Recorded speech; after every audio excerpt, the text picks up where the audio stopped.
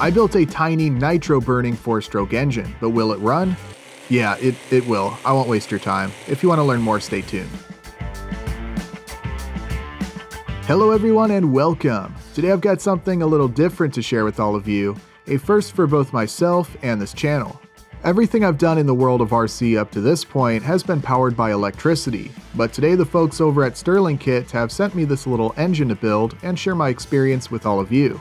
The Semto ST-NF2 is an inline two-cylinder four-stroke air-cooled engine powered by conventional 20 to 25% nitro fuel like you would use for various other hobby engines. This is a lower cost engine, selling for around 200 US dollars, suitable for both educational purposes and can be installed into RC vehicles. While I've never built a model engine, I do have experience with full-scale engines, so hopefully that knowledge trickles down to this project, but again, for full disclosure, I am a complete novice when it comes to nitro-powered model engines. Regardless though, let's dive right into this project.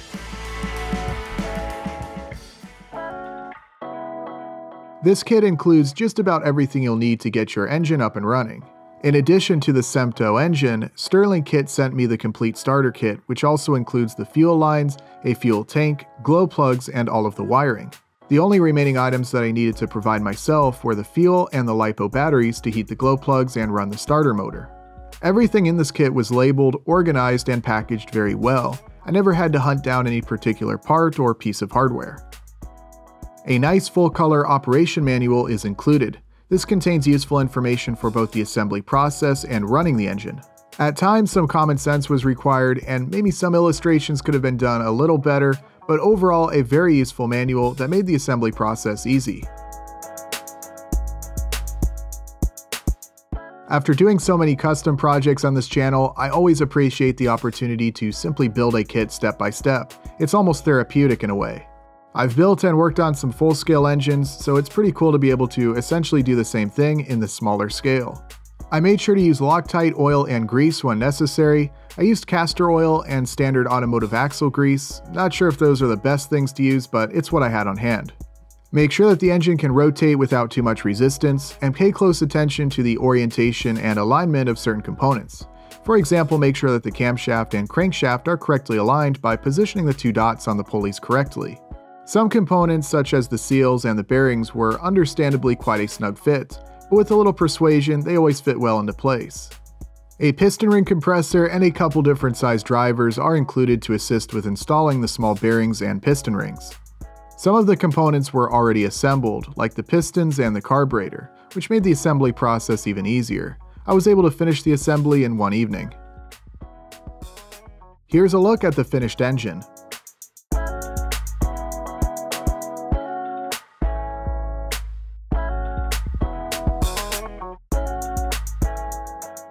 It certainly looks good, so let's get this thing fired up.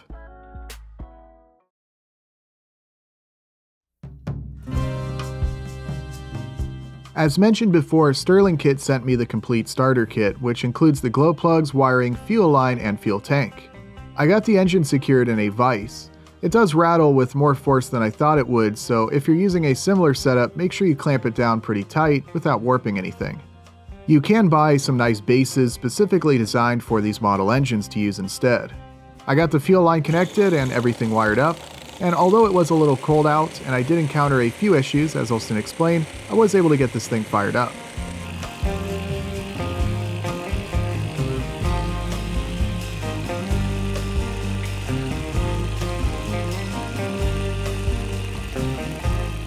So I got it running as you just saw. I thought I'd quickly go over some of the wiring. I don't know if it went into a ton of detail in the manual, but it's pretty self-explanatory. Basically, these go to your glow plugs, and then you've got your ground, which they got a spot for it right on the other side of the block. You've got your positive and negative for the starter, a Dean's plug for your battery. Apparently you can use either a 2 or 3S LiPo, and this button here is what runs your starter. So when I tried to get this engine running initially, I did have a problem with this module here. Immediately after plugging in a compatible LiPo battery, this started to smoke. Engine smoke is normal, electronic smoke on the other hand, not so much. So it appears I got a dud unfortunately. Right away I went ahead and purchased a few more of these module wire assemblies. Stirlingkit did offer a replacement, but the ones I ordered came in faster. This might be unnecessary, but what I decided to do was wire the starter motor, and the glow plug separately. I thought maybe that would reduce the risk of having another issue with the module since apparently some other folks have had similar issues to what I experienced. Again, maybe not necessary, but that's what I did. So to run the glow plugs, I used a 2S LiPo this module steps down the voltage to about 1.3 to the glow plugs, and to power the starter motor to get as much speed as I could out of it, I used a 3S LiPo, which I plugged in on this side. Again, you don't need to set it up like I did it here. You can just plug these into your starter and use one battery pack. This is just the setup I use to get this thing running. But the wiring, very simple, just glow plugs, starter, that's it. And then your fuel just goes into the carburetor right here. Very simple. This is the fuel that I used. There might be better stuff out there, I have no idea, but that's what I got. So I got a module that didn't smoke and I was able to send power to the glow plugs and of course I could also run the starter motor off of a 3S for the maximum amount of speed. After a fair amount of trying I realized that the glow plugs were not getting hot. I had to mess with these plugs a bit to get them to make contact and actually heat up. To me these don't really feel like spark plugs where they really click in and feel nice and solid. They're just sort of loose but eventually what I did was I could look in through the exhaust, rotate the engine and look inside when the valve is open, make sure it's glowing in this one, make sure it's glowing in that one. And so at that point I knew I had spark. Or I guess more accurately, uh, heat, ignition, whatever you would call it with the glow plug. So as you could probably imagine, once I figured that out, uh, getting this thing started became a lot easier. They say the carburetor is set up from the factory. I ended up needing to adjust it quite a bit in order to get it to run. Depending on the environment that you're running this engine in, you may need to adjust a few things. There's definitely some patience required. You make a little bit of adjustment little by little. Uh, you start to hear it come to life and then eventually it'll take off. Once I got it running, um, I tried to fine tune it a little bit. I got it to run without the battery plugged in. It was idling good, throttle response was pretty good. I'm not sure if I had this thing tuned up perfectly, but it would start and run reliably. And do keep in mind these engines will make a bit of a mess. It's going to cover everything in a nice film of oil. But basically, the only issue I had with getting this running was, ironically enough, with the electronics. After that, it's basically just making sure those glow plugs are getting hot, making sure it's getting fuel, and having some patience to get it tuned up and get it running.